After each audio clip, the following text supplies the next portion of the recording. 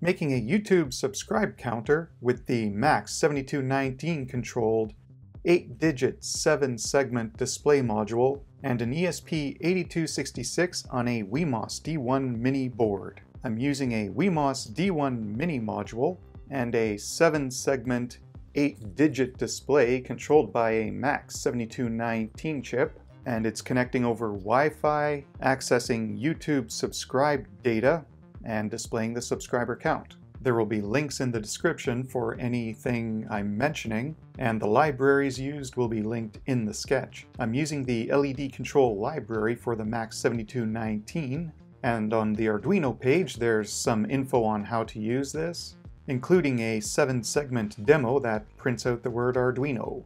And to get the subscriber statistics from YouTube, we use Brian Lough's Arduino YouTube API.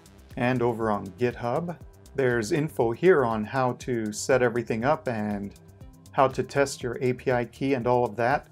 I went through this in a lot more detail in a previous YouTube subscriber count video I'll link to below. It might cover some pitfalls getting the ESP8266 to run in case you can't get it to retrieve the subscriber count so you can refer to that if you're having any problems or if you've never used an API key. Here's the simple circuit I put together using the WeMOS D1 Mini and the 8-digit 7-segment display module. It's SPI controlled by these three pins for data, clock, and chip select. This MAX 7219 chip runs on 5 volts. The datasheet will tell you the minimum logic high input should be 3.5 or greater volts but it seems to work with these 3 volt logic outputs from ESP8266. So the sketch I put together looks like this. I've mentioned what libraries, including the ESP8266 board file, are required, and because, especially for projects with ESP8266 and with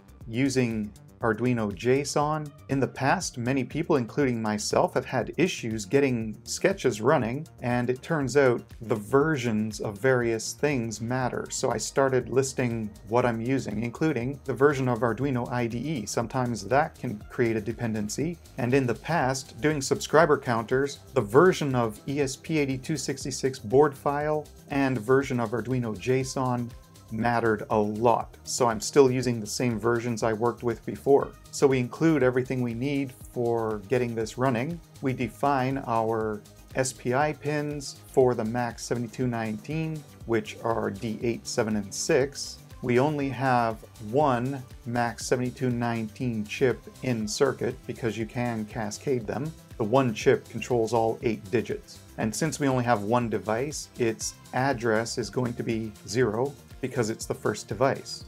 So we create the LED control interface on these SPI pins and we only have one device controlling all of our digits. You would enter your Wi-Fi login credentials, your API key, and your YouTube channel ID so that you can log into the network and go and get your subscriber info. How to get your channel ID was also covered in that previous subscriber counter video linked below. Each of the eight digits on our seven segment display I'm storing in an array. So we create a Wi-Fi and YouTube API object. I have it set to go update the subscriber counter every three minutes just so we don't poll the API too often. You only get so many poll requests per 24 hour period. In our setup, we do the usual joining Wi-Fi stuff, and we have to initialize the seven segment display.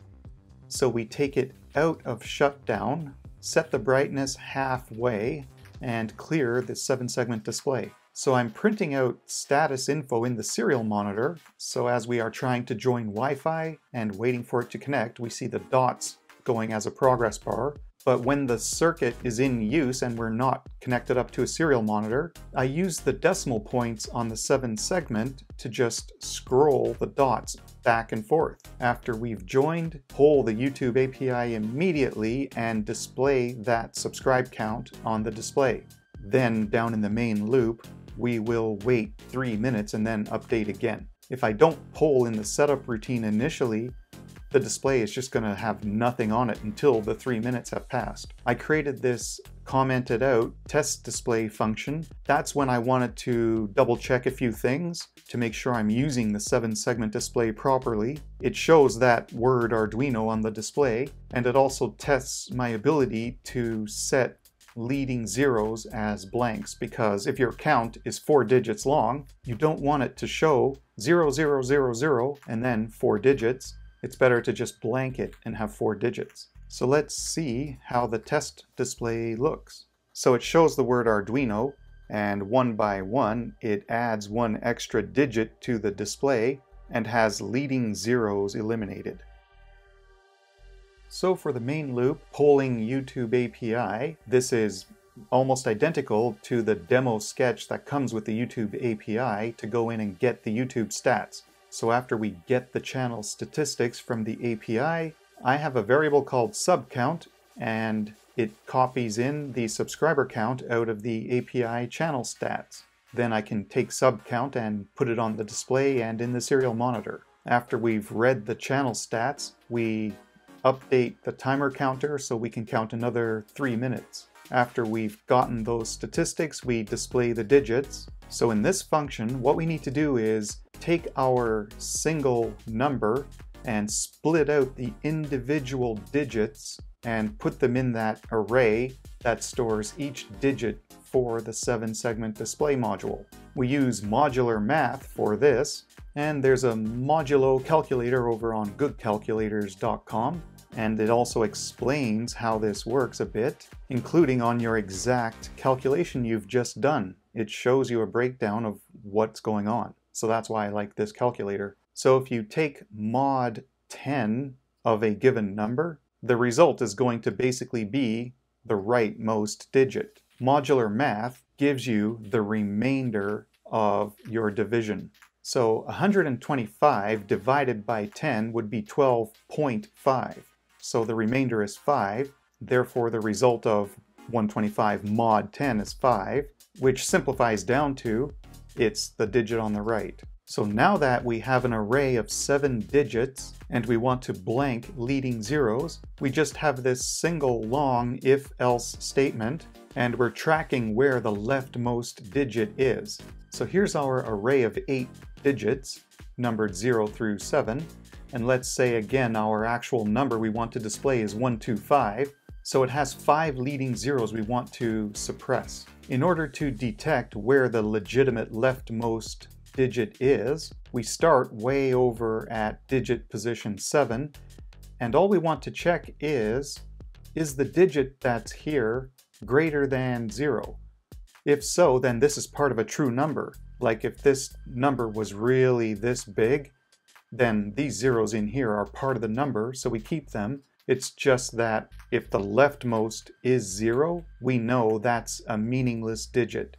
So we keep going all the way until we get a non-zero, and that's where the true number starts. So we start over at digit 7. Is it greater than 0? If this is 0, then we end up in this next else if. In the number 125, digit position 2 is actually where the 1 is. So we get down to here.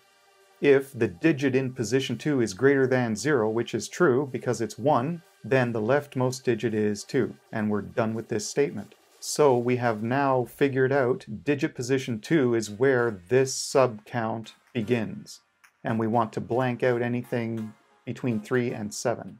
So we have this little for loop.